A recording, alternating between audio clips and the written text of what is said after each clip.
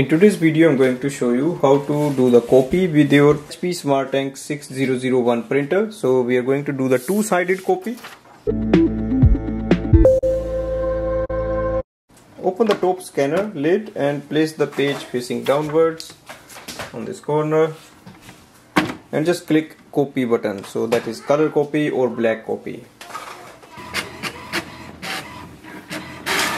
Now we can do the two-sided copy. So simply take it and move it like this and place it in the paper tray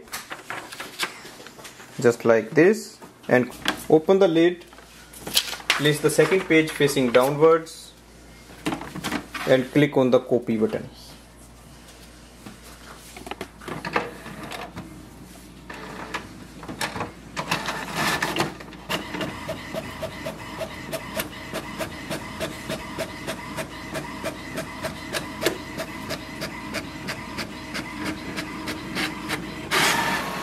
so you can see here. So we have printed on both sides of the page.